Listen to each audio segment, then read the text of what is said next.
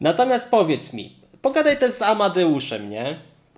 Jak ja bym puścił ten materiał, yy, który jest niby tym moim zabezpieczeniem, żeby mi się nic nie stało, to ty byś mógł sobie federację otworzyć. Znalazłbyś sponsorów na tą federację. Amadeusz dobra rada. Spierdalaj. Jak najdalej. Możesz tworzyć federację, ale nie z Boxdelem. Powinieneś uciekać z tego okrętu. To jest taka dobra rada ode mnie. Nie przepadam aktualnie za tobą, ale kiedyś się w miarę lubiliśmy, nie?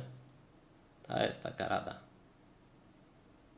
Zapytaj Boxdela, jakie snuł plany odnośnie Wielkiego Bu. I jakby na takie plany ym, zareagowali sponsorzy. Taki jakby główna odnoga sponsorów, które są związane z takimi federacjami. Niech ci Boxel to powie. Przyciści go do muru, niech ci powie prawdę.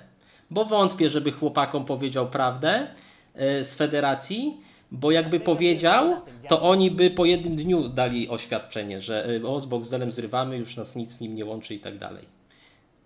No i Ferrari z nim porozmawiaj. No chyba, że chcecie robić federację z donatów, nie? I to będą wasi sponsorzy, no to wtedy ok.